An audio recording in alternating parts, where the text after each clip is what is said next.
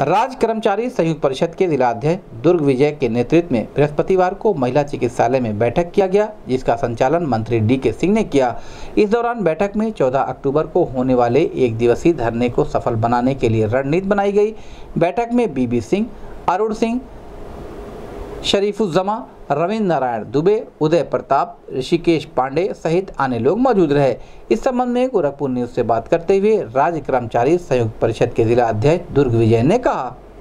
सरकारी स्तर पर पहुँचने का काम करें और आज से प्रचार प्रसार सोशल मीडिया के माध्यम से व्हाट्सएप के माध्यम से, प्रशासन के द्वारा ऐसा किया जा रहा है। कल हमारे अधिकारी के द्वारा ऐसा करना शुरू हो जाएगा। साथ ही हम लोग वापस होंगे और डेट को घोषणा होगी।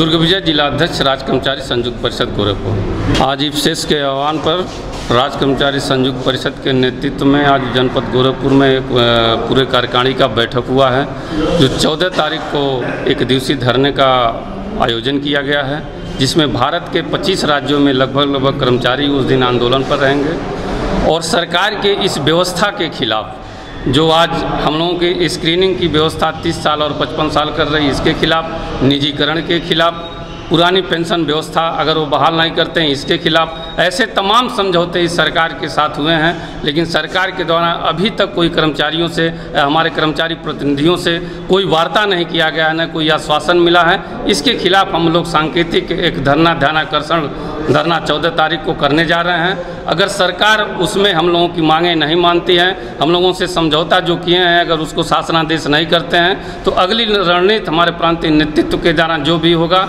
मेरा पूरा जनपद और पूरे प्रदेश के और भारत के कर्मचारी उसके साथ कदम से कदम मिलाकर के प्रांतीय नेतृत्व के साथ चलेंगे।